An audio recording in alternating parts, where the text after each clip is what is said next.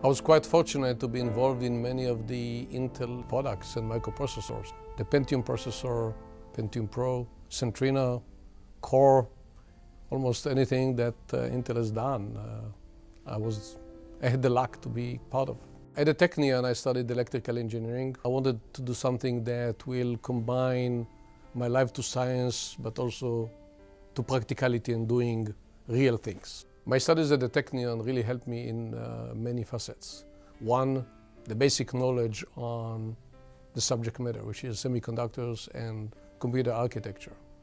Uh, but it also taught me a lot about basics in math and in science, which is really needed.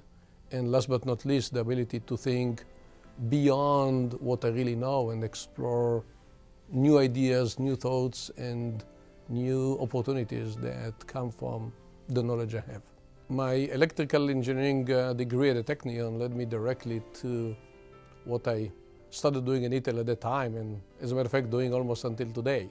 Being part of computer architecture is uh, like in a house architecture. Someone have to define how it will look, what kind of functions it will have, what kind of experience, what kind of usage uh, someone who uses the computer will need, and therefore build the capabilities inside of the computer to make what the computer need to do for the user.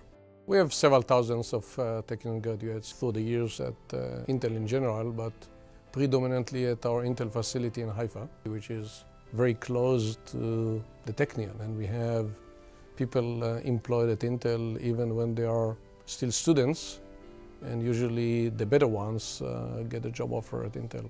And they have a huge impact because uh, one of the big product lines uh, of microprocessors, communication, wireless communication, and other things are being developed in our facilities in Haifa and in other places in Israel. Why Israel is a good uh, kind of innovation bed is a very good question. Uh, I'm not sure I have the best answer for this one, but I think Israelis in general have this tendency to look for the other way to do things. Uh, just going through the regular path is something that considered not good enough.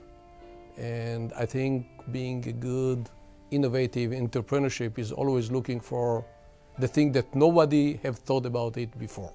There is a lot of appreciation outside of Israel to the Technion and its graduates. The appreciation is very much around the professionalism, the knowledge, the ability to create new ideas, and the ability to go do big things.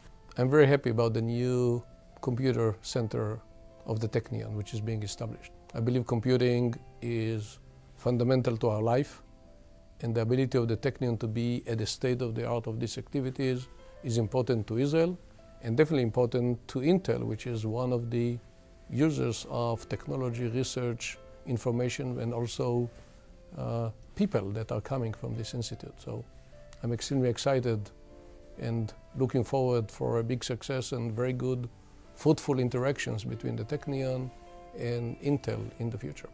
The American Technion Society fulfills a very important role for the Technion, especially for a academic institute which is so far away for the center of many things.